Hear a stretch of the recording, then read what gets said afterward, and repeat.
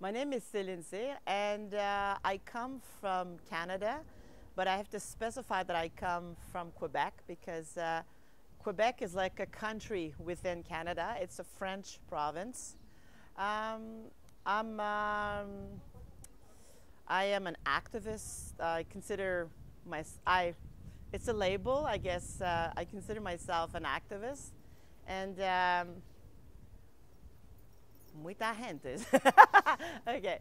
Uh, and uh, so I am both, uh, in English we say a prosumer. So prosumer meaning I'm a professional, but also, I'm also a consumer of uh, mental health services, or was mostly. Um, what I, well, hmm, I'm trying to see which angle. Okay, so I'll say how I came to GAM. Um, when I was uh, taking psychiatric medication at the beginning, at the first time that I was very not that I was not well, uh, the medication um, was not working for me.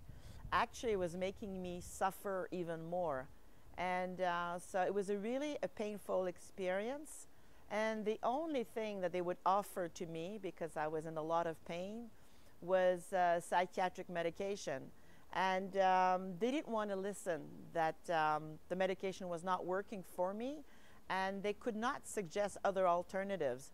So here i am i have a medication that's not working that's making me worse with no other options. So i became worse and started to have really uh, suicidal ideas. And uh, fortunately um, i I started looking for a therapist. It took me a while to find a therapist because therapists, a lot of people are afraid of pain, of suffering. So it took me four or five attempts to find one.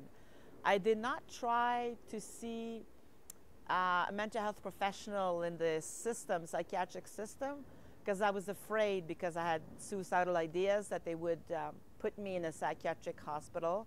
And for me, uh, being uh, in a room, not able to escape, was very traumatic for me. I need to be able to escape or not be enclosed.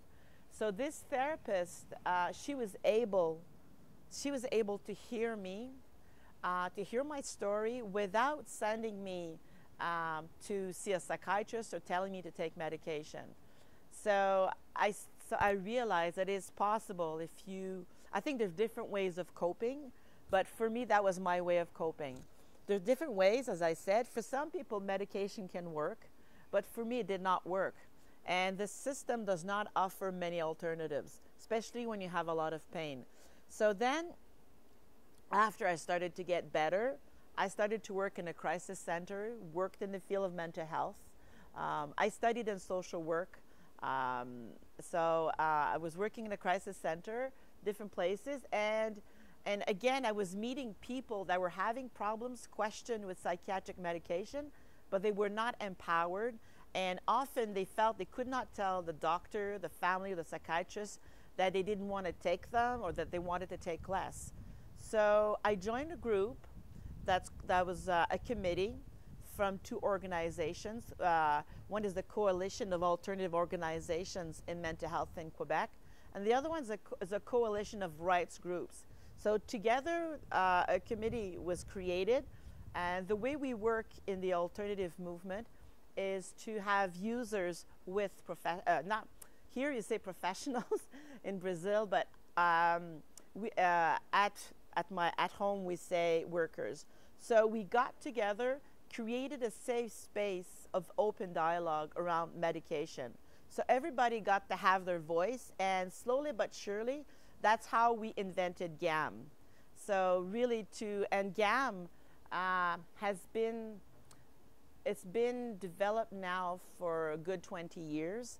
And this is why I'm in Brazil. It's unbelievable. From a small group of people that felt um, disempowered, workers too feeling disempowered.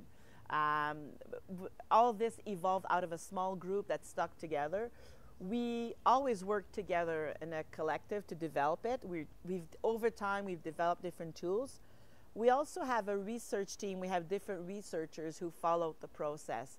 So um, I've been very lucky uh, I wish GAM existed when I needed it, but then GAM exists now for other people.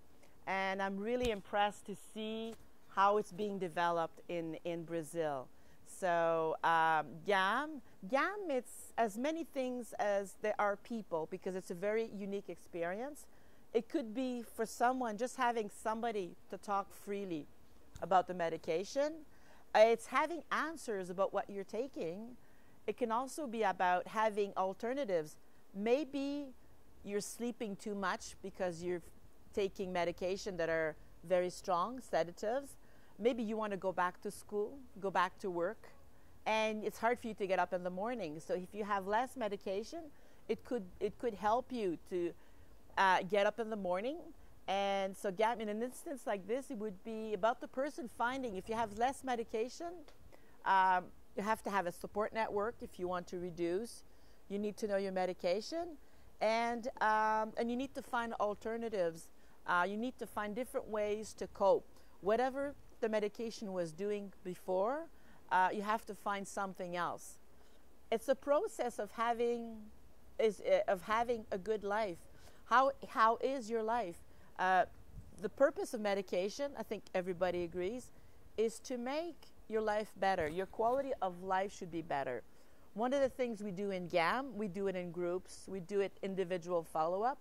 There's a GAM book in French, English, and in Portuguese, and you look at your life. How is my life today? How, what are my living conditions? Um, what are, how are my relationships? How is my health? How is my mental health? And how, how is, what's medication, how is it impacting these different areas of my life? So you're having a concrete picture of how, what, if what the medication brings to you. Sometimes when people do this GAM process, if they want to, they're, they're ready, they realize what, what the medication was bringing to them. It's not always negative, the medication. For a lot of people, it's positive, and, uh, but for some people, the medication is doing nothing or making their life worse. So there has to be different alternatives because people have different experiences with medication.